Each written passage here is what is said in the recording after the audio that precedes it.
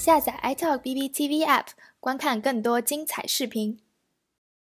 自美国新上任的总统拜登于上周发表首次外交政策讲话后，外界纷纷猜测美中两国领导人的首次沟通将会在近期发生。大家没有等到拜登与习近平的通话，而是两国领导人纷纷派出急先锋打了个前站。二月六号星期六，美国国务卿布林肯与中国负责外事工作的政治局委员杨洁篪通话。这是拜登政府上任以来双方的第一次高层对话。两位外交使臣在通话中就一些热点问题互相交换了看法，这其中有共识，但更多的是意见相左。今天我们就来看一看这两位都说了什么，折射出了现如今美中关系的哪些症结。中国外交部在公布这一消息时，表明了杨洁篪应约同布林肯通电话，从而我们可以得知，这是一次由美方主动发起的电话连线。不过，根据美方的报道，实际上在布林肯与杨洁篪通话之前，已经在上周五（二月五号）与英国、法国和德国的外长举行了网络电话会，内容涉及到伊朗、中国、俄罗斯、缅甸、气候变化以及新冠疫情。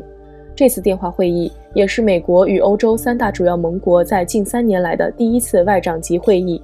会后，美国国务院发言人内德·普莱斯表示。四国外长们在处理安全、气候、经济、健康和其他世界棘手问题上，确定了跨大西洋关系的核心地位。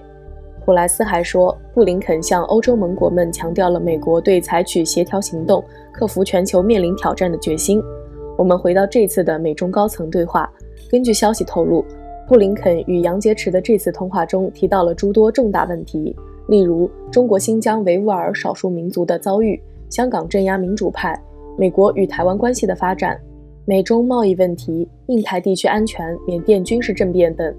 不过，两国媒体在针对这次谈话的报道却呈现了不太一样的措辞。在中国外交部的新闻稿上，用了大量的篇幅陈述杨洁篪在通话中的观点，比如中国敦促美国纠正错误，秉持不冲突、不对抗、相互尊重、合作共赢的精神，聚焦合作，管控分歧。中美双方应该相互尊重彼此核心利益和各自选择的政治制度与发展道路，各自办好自己国家的事。台湾问题是中美关系中最重要、最敏感的核心问题，事关中国主权和领土完整。美方应当严格恪守一个中国原则和中美三个联合公报。香港、新疆、西藏等事务均为中国内政，不容任何外部势力干涉。联合国为核心的国际体系应当维护。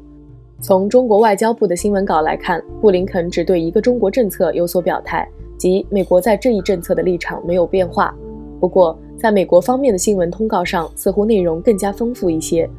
根据国务院发言人普莱斯的透露，布林肯向杨洁篪传达了对中国农历新年的最佳祝愿的同时，还表示，美国将持续为人权及民主价值挺身而出，包括在新疆、西藏和香港问题上向中国施压。还要求中国与国际社会一道谴责缅甸的军事政变。美国将与盟友和伙伴一道捍卫共同的价值观和利益，向中国威胁印太稳定，包括在台湾海峡的行为，以及向中国削弱以规则为基础的国际体系的行为问责。由此可见，两国对于这次切磋向外透露的信息完全不一致，仿佛这不是一场发生在两人身上的对话。而在国际媒体层面，对于美中之间的这次高层对话，也呈现出不同的角度。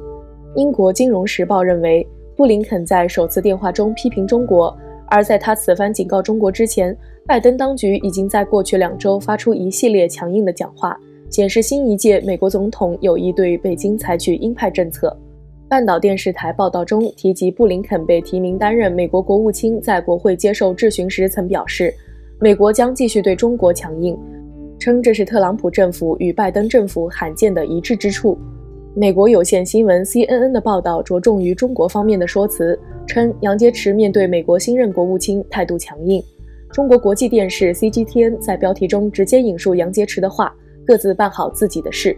在许多媒体报道中，美中两国的外交官员在拜登上任后的首次对话中，无论是涉及中国的人权问题，还是国际间关注的缅甸局势问题，都各执一词。没有显示出任何关系和缓的迹象，而这一局面与杨洁篪在与布林肯通话之前的另一番讲话中对中美关系的希望有相当大的距离。杨洁篪此前在二月二号出席美中关系全国委员会的视频对话时，向美国喊话，希望两国构建和平共处、合作共赢的大国相处模式。